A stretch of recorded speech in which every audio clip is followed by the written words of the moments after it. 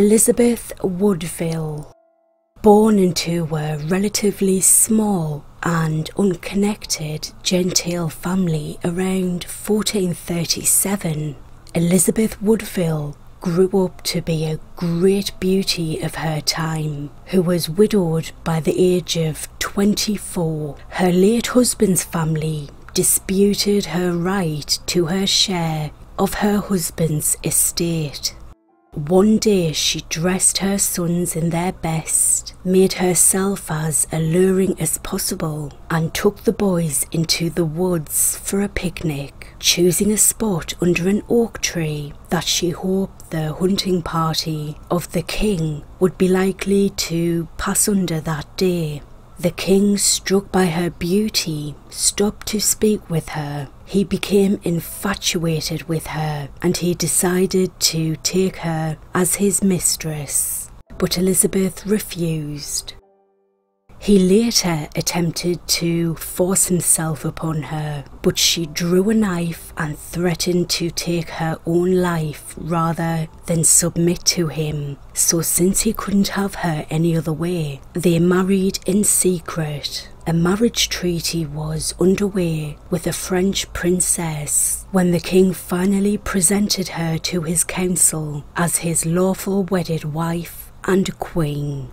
The couple had ten children together, seven daughters and three sons. Edward was never faithful to his wife and took many mistresses. The king's passing in 1483 proved a difficult blow, forcing Elizabeth to draw an alliance with the Tudor family to ensure the safety of her own. Julia Agrippina the Younger. Both ancient and modern sources describe Agrippina's personality as ruthless, ambitious, violent, and domineering. She was born into a life of privilege and was directly connected by blood and marriage to five Roman emperors. She wasn't satisfied living life on the sidelines as was expected of elite Roman women. In 39 AD, she was exiled for plotting against her brother Caligula.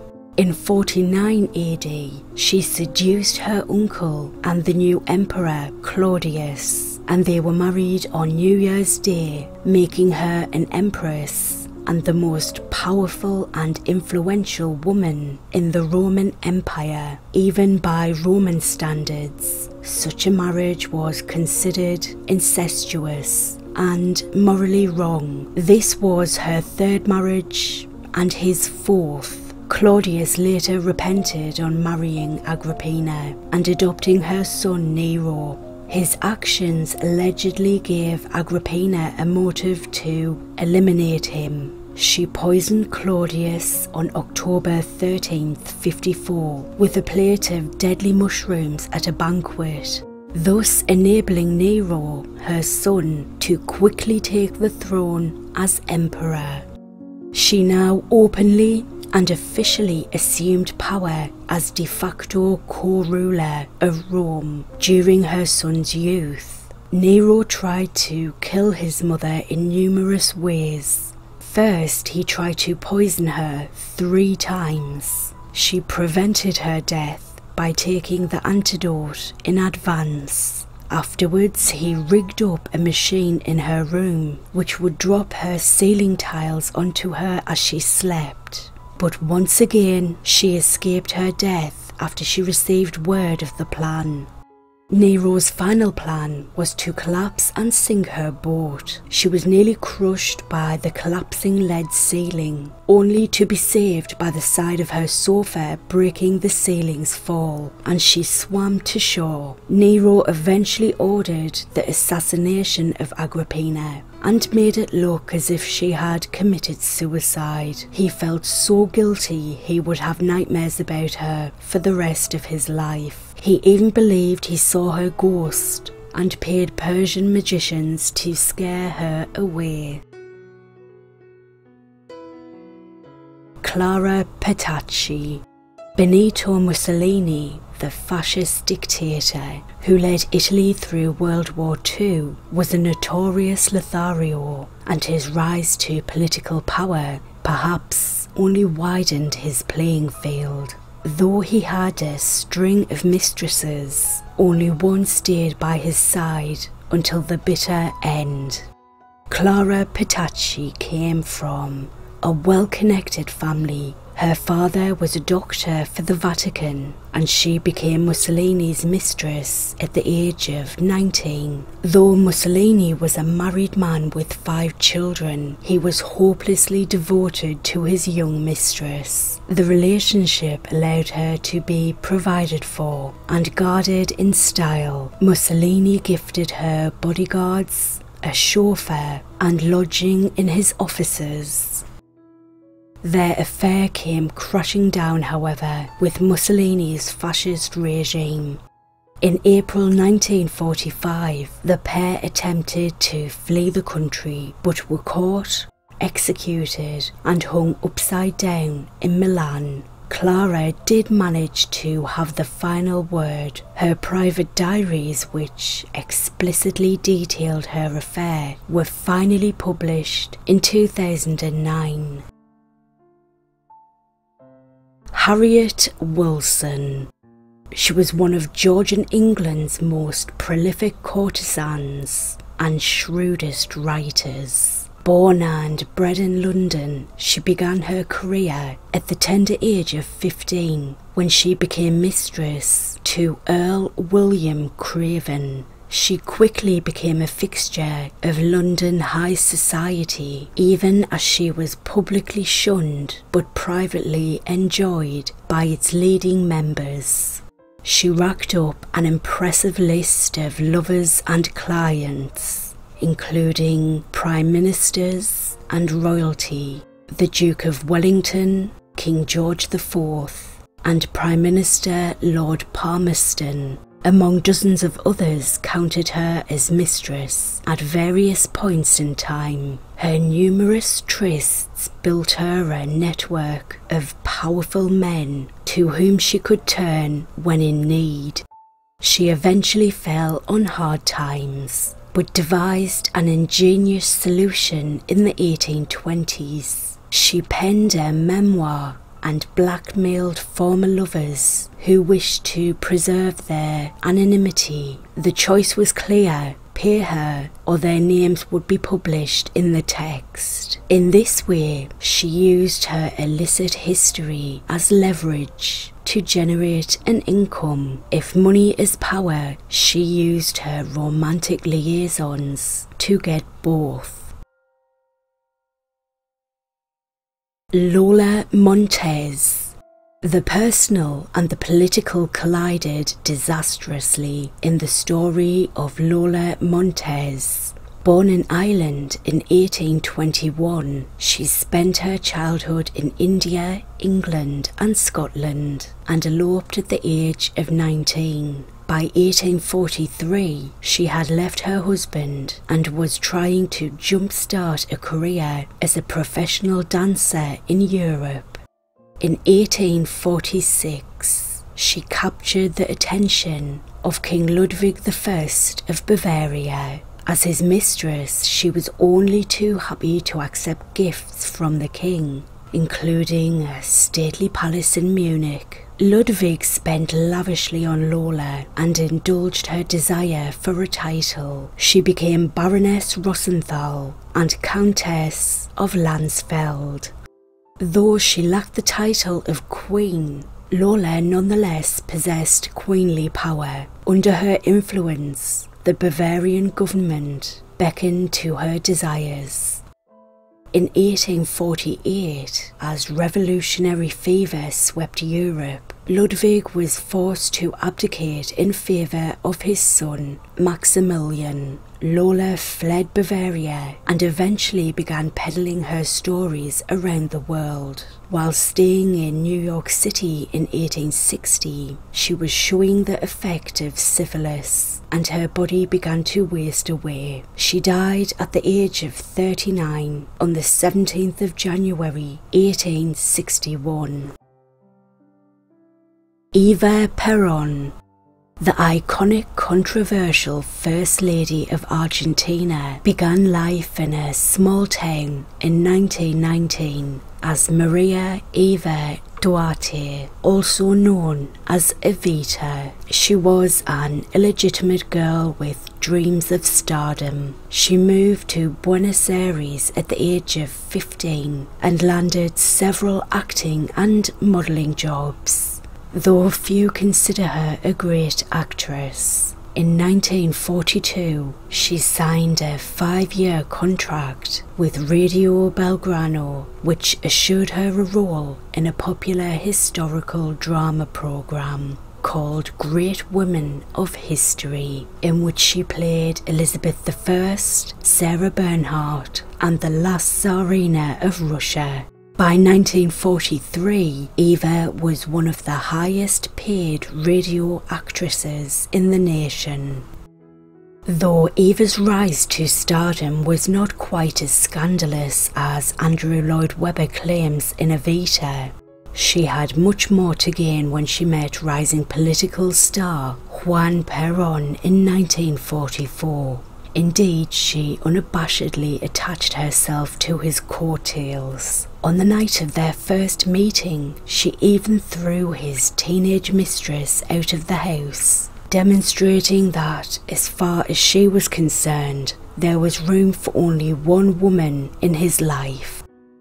Eva's film career was boosted once Perón allegedly funded her production company. Such favours were not one sided, however. She also supported his political agenda and was a glossy, charismatic social ambassador for his politics. Eva and Juan married in 1945 and the next year were Argentina's president and first lady.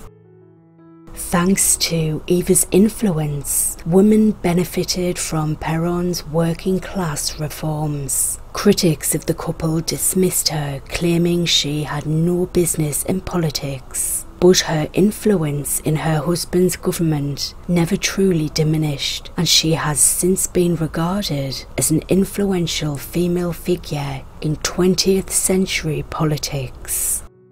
Her tenure as First Lady was brief. She died at 8:25 p.m. on Saturday the 26th of July 1952 from cervical cancer at the age of 33. The streets of Buenos Aires overflowed with huge piles of flowers. Within a day of her death, all flower shops in Buenos Aires had run out of stock. Flowers were flown in from all over the country, despite the fact that Eva Perón never held a political office. She was eventually given a state funeral, which was usually reserved for a head of state, along with a full Roman Catholic Requiem Mass.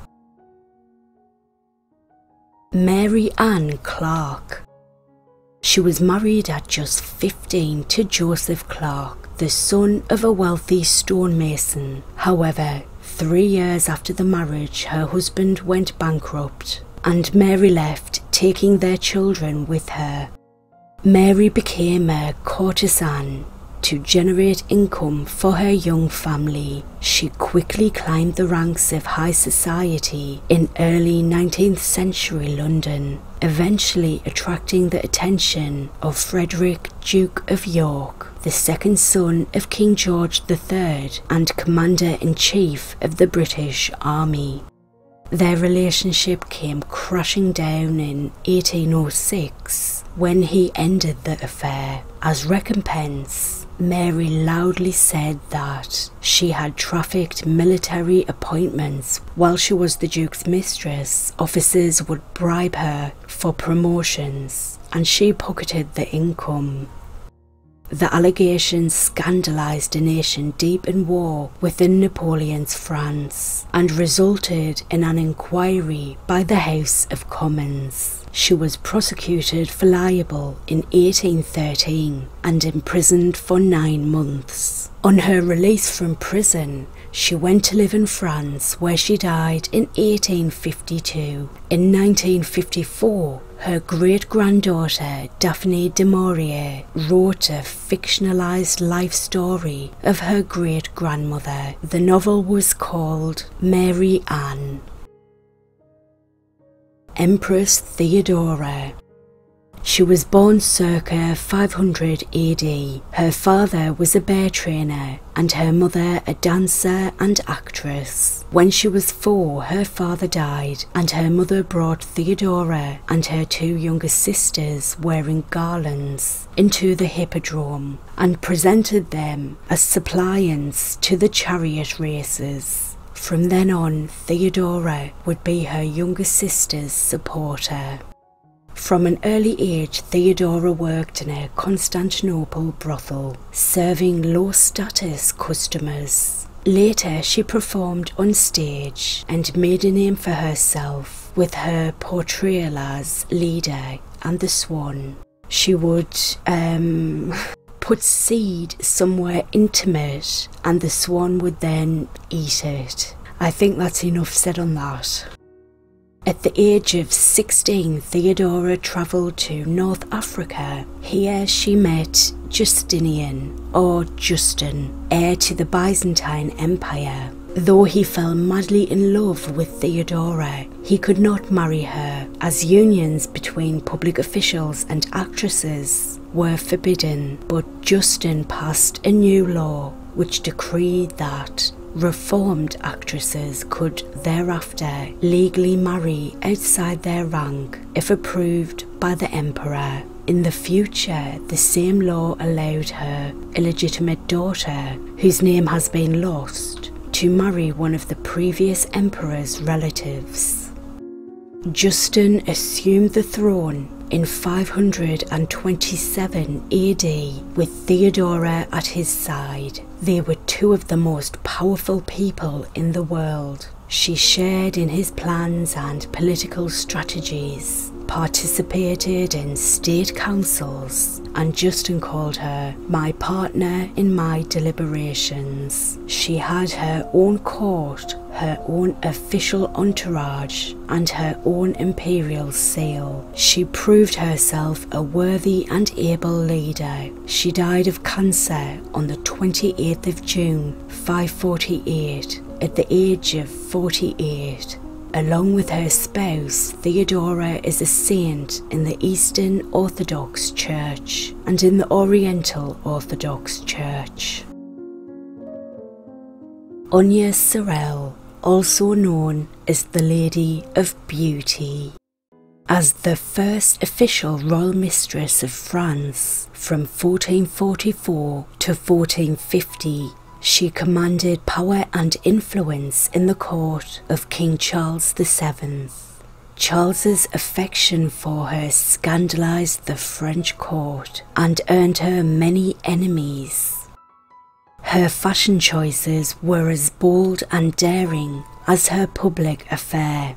She wore dresses so that one breast was always completely exposed. Charles gifted her lands, a private residence, and mountains of jewels, including what might have been the first cut diamond. She did not seek royal favours only for herself. She used her position to advance the fortunes and standing of her family. Her tenure was relatively brief she passed due to mercury ingestion at the age of 28 in 1450. Some even suspect foul play was involved in her demise. Charles's son, the future King Louis XI, had been in open revolt against his father for the previous four years. It has been speculated that he had her poisoned in order to remove what he may have considered her undue influence over the king. Diane de Poitiers, one of the most beautiful, intelligent, and fashionable women in the 16th century French court, Diane caught the eye of Prince Henry heir to the throne and a man 20 years her junior. She grew to be an essential figure in Henry's life throughout his reign. When they first met at the tournament held for the coronation of King Francis' new wife, Eleanor of Austria, in 1531, the king was expected to salute the new queen, but Henry addressed his salute to Diane. As a royal mistress, she held no official power in the court, but her relationship with the king did afford her influence and favours. She eclipsed the queen in the royal court, and Henry lavished her with gifts and land. When Henry died in a jousting accident, in 1551, Diane fell dramatically. Queen Catherine de' Medici, Henry's widow and new Queen Regent, swiftly reduced Diane's position, even forcing her to trade castles. Diane passed 15 years after Henry, aged 66. When experts dug up her remains in 2009, they found her death was self inflicted but accidental. She consumed drinkable gold to preserve her youth and beauty, which ultimately led to her death. Madame de Pompadour Growing up in a well off but not noble family, she was groomed by her family to be a royal mistress from a very young age. She was well educated and made good use of her sharp intelligence. She first came to the attention of King Louis XV at a masked ball in 1745 Following the encounter, she quickly became the king's chief mistress. She took charge of the king's schedule and was a valued aide and advisor. She secured titles of nobility for herself and her relatives and built a network of clients and supporters. Through her position at court, she wielded considerable power. She was elevated on the 12th of October 1752 to Duchess and in 1756 to Lady in Waiting to the Queen, which was the most noble rank possible for a woman at court. She effectively played the role of Prime Minister, becoming responsible for appointing advancements favours and dismissals and contributing in domestic and foreign policies. Critics at the time generally tarred her as a malevolent political influence, but historians are more favourable, emphasising her success as a patron of the arts and a champion of French pride she was able to wield such influence at court due to the invaluable role she played as a friend and confidant to the king. In opposition to previous mistresses of King Louis XV, she made herself invaluable to him by becoming the only person whom Louis trusted and who could be counted on to tell him the truth. Louis remained devoted to her until her death from tuberculosis in 1764 at the age of 42. Wallis Simpson she was a glamorous American divorcee who caught the eye of the future King of England in 1931. Edward was known for his dalliances and he cultivated a reputation as a playboy prince. Everyone assumed his fling with Wallis would be short lived.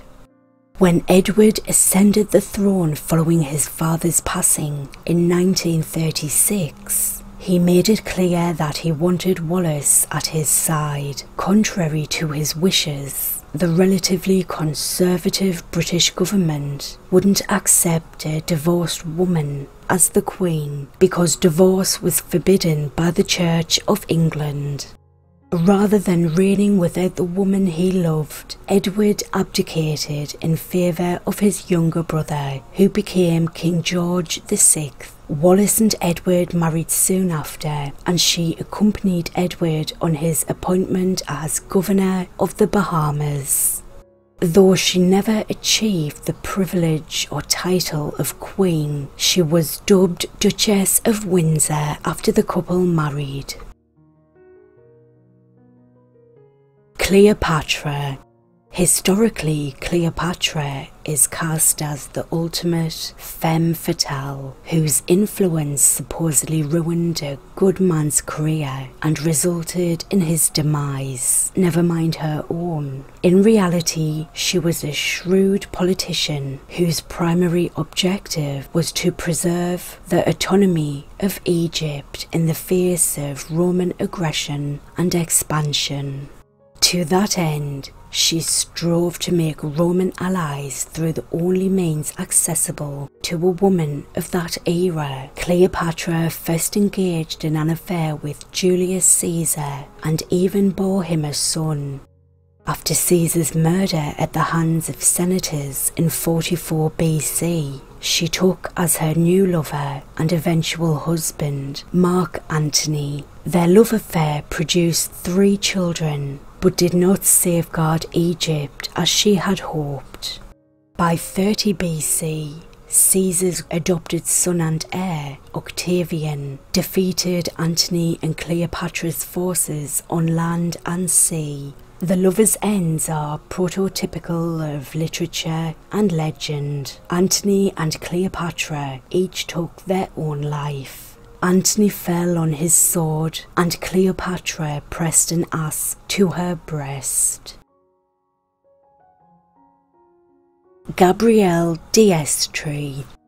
She was a royal mistress with political ambitions. In 1590, the 17 year old French noblewoman became the mistress of King Henry, a Protestant king leading a Catholic majority country in a climate of religious warfare sweeping Europe. Gabrielle, loyal to her king, was also a loyal Catholic and used her position to convince Henry to renounce Protestantism and return to the Catholic faith proven to be an asset to the king, and though she had no official power, she did wield social capital. When Henry issued an edict granting Protestants rights, she used her social and diplomatic skill to quiet vocal criticism from Catholic nobles. With pride, Henry claimed my mistress has become an orator of unequalled brilliance. So fiercely does she argue the cause of the new edict. Henry sought an annulment from the Pope in the hopes of wedding his mistress, but after delivering a stillborn baby, she passed in 1599 at the age of 26 due to eclampsia. Marion Davies. Born Marion Darcus in 1897 Brooklyn, Marion always harboured dreams of stardom. She got her start as a showgirl on Broadway, and by 1917 she was starring in a film she herself had written. She quickly found an audience substantial enough to attract the attention of newspaper tycoon William Randolph Hearst. William immediately set out to make his mistress a star. He even founded a production company, Cosmopolitan Pictures, in 1918 to produce and promote her work. He oversaw her career to the point of obsession, brokering deals and advertising her performances in his newspaper empire Though she was a natural comedian with ambitions of screenwriting, her affair held her back as people assumed she was getting ahead because of her relationship with Hearst and not because of her talent. In the film Citizen Kane, 1941, the title character's second wife an untalented singer whom he tries to promote, was widely assumed to be based on Davies. But many commentators, including Citizen Kane writer and director Orson Welles himself, have defended her record as a gifted actress to whom Hearst's patronage did more harm than good. She retired from the screen in 1937, choosing to devote herself to William Hearst and charitable work. Since the early 1920s, there has been speculation that Davies and Hearst had a child together sometime between 1920 and 1923. The child was rumoured to be Patricia Lake, née Van Cleve, who was publicly identified as Marion's niece. On October 3, 1993, Patricia died of complications from lung cancer in California. Ten hours before her death, she requested that her son publicly announce that she was not Marion's niece but her biological daughter. Patricia had never commented on her alleged paternity in public. Marion reportedly told her of her true parentage when she was just 11 years old. 11 weeks and one day after Hearst's death, Marion married Horace Brown. On October 31st, 1951, it was not a happy marriage.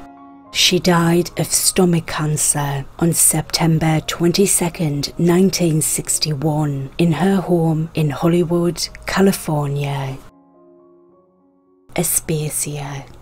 She was a key figure in the cultural and political life of ancient Athens, thanks to no small part to the fact that she was the mistress of Pericles, one of the most powerful and important statesmen in the ancient world. She was born around 470 BC and was an immigrant to Athens. From around 445 BC, she was Pericles' mistress and an Athenian courtesan.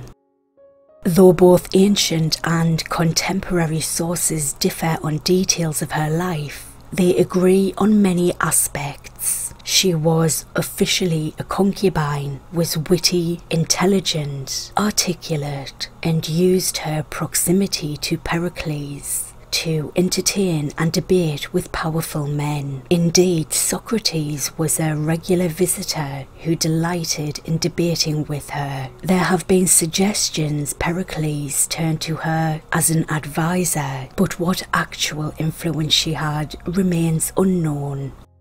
She did, however, face substantial criticism. Her relationship to Pericles was parodied in stage comedies and questioned by the Senate, as many felt she was a wicked, scandalous presence who overstepped her bounds as a woman. Many politicians even blame her for political and military blunders. They feared Pericles was merely a puppet overseen by Aspasia's whims. Given their commitment to one another, she was more than likely devastated when he succumbed to the plague in 429 BC. She outlived him by nearly three decades, passing around 401 or 400 BC. Scholars continue to debate her legacy even centuries later. And this concludes the video. Thank you very much for watching. If you enjoyed this, please click the like button, give it a thumbs up, and please subscribe for future videos. Thank you.